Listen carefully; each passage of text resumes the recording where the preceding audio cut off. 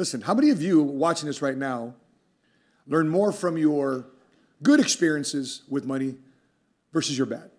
I think a lot of people don't realize that the financial education that we do receive, sadly, is when life hits us squarely in the face, uh, just like relationships. But isn't it funny that we don't learn about relationships and money in school, but yet when we do life, when we adult, that's exactly the topics that we really need to be on the up and up about because those are things that cost us, sadly, time and money and relieve a lot of depression today, relieve a lot of anxiety today, relieve a lot of financial stress today. It incorporate a lot more confidence today, a lot more certainty today. And people will have a little bit more strength and understanding. If I got financially literate, if I got myself a financial education, if I got exposed and became aware of what people do good and, and do bad in, in regards to finances, they'd be in a much different financial position today than they are fighting themselves. So, uh, when did you start learning about money, Milton? During your good experiences or your bad? 2020, COVID. That's Dude, when co- I, really? That's what pushed me to start learning. You know, um, I, I'm reading here this art. I'm reading this article here that says that less than 12 percent of students are required to take a standalone personal finance course to graduate from high school, outside of the six states that mandate it. But only 7.4 percent of the black and brown students are required to take that class. So that I automatically seeing those seeing those numbers, they show. Actually, I was part of that small percentage that Me was, too. it wasn't required. Yeah, and even, yeah. even if it was, I probably wouldn't have taken it because I didn't see the finance to be a big thing. But then that threw me into the world with zero to almost nothing of understanding what how money works, what money is, even how credit works, which is what drove me to a lot of depth in my early twenties, which is up to this day I'm still paying off. You know, I uh, are reminded of me filing bankruptcy in 1996, coming back from a deployment. In one year, I uh, came back from a deployment. By the way, this is one year, chronological true story. It's in my uh, first page of my book, Faith Made Millionaire. And first year, come back from a deployment, get married, have a kid, file for divorce, file for bankruptcy, all in one year. It's my motivational year of change and transformation. I'm laughing at it now, man. I tell you, I was crying about, crying about it. You work with a lot of entrepreneurs. You work with a lot of uh, uh, clientele that uh, are successful business. Obviously, they have to be able to afford you, but uh, it's, it's you know you're not you're, you're not your uh, seventy five dollar an hour trainer, you know, at, at, at the UFC or, or or these box gyms. But when you see our entrepreneurs, wh- where do you find them having the most amount of experience from, the good or the bad experiences for, from finances? So surprisingly, you would think that a lot of entrepreneurs that exist nowadays, a lot of people assume like, oh, they came from money, they got something handed down to them, or they just got uh, lucky.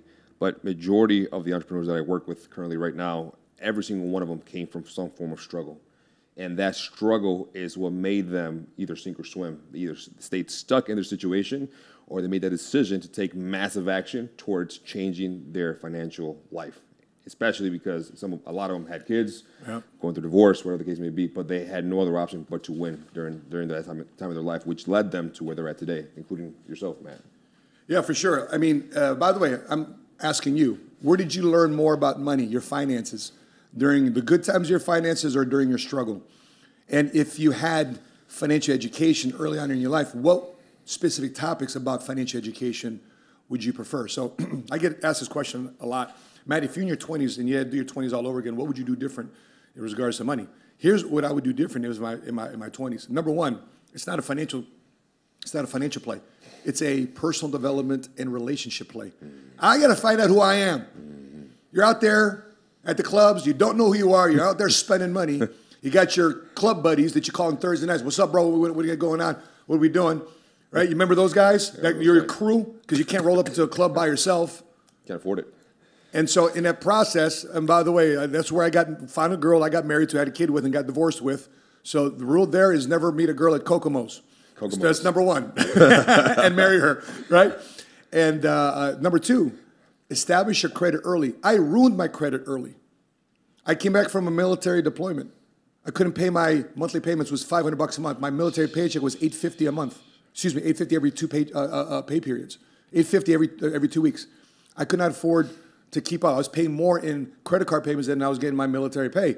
So the guy said, "Hey, go down the street, go go see Susan, and go file bankruptcy." I said, "What's bankruptcy?"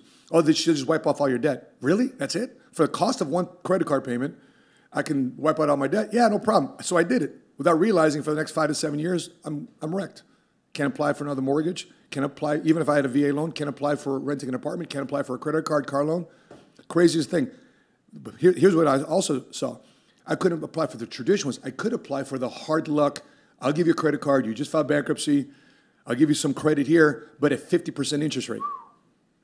So that's number two. Get your credit square in. Number three. It sounds cliche, but listen, the biggest thing you got going for you is time if you're young. Mm-hmm. So tuck, I don't care if it's 25 bucks a month, 50 bucks a month, 100 bucks, 200 bucks a month. Start tucking money away now because time will compound your money. If you're putting that money inside an index universal life insurance policy, even if you're sticking inside a mutual fund, you open up a TD Ameritrade account. The reason I'm part, uh, partial to TD Ameritrade, they sponsored uh, us during a, a, personal financial reality show in 09. Put your money away. Get that money growing and compound. Don't put it in the bank. Put money, if you said, I, I, I, said, I hear these guys put money in the bank. Yeah, put an emergency fund in the bank. But if you want your, your compounding growth money, that down the road, get that money working for you. I've got like six different index universal life insurance policies. Why? Because I can put that money in there, it can grow uh, with the S&P 500 growth, no downside risk, and then when I, anytime I want to, two, three years later, four years later, I was able to withdraw money from those uh, policies, go get my car, pay my policy back, what I was about to pay a car payment to the bank with, by paying back my own money. With, by the way, life insurance is a zero cost wash loan in these, in these policies these days. Boom, and that's how I was never able to say, hey, car company, can you loan me money to buy a car? It's not that. These days, I do that to build business credit.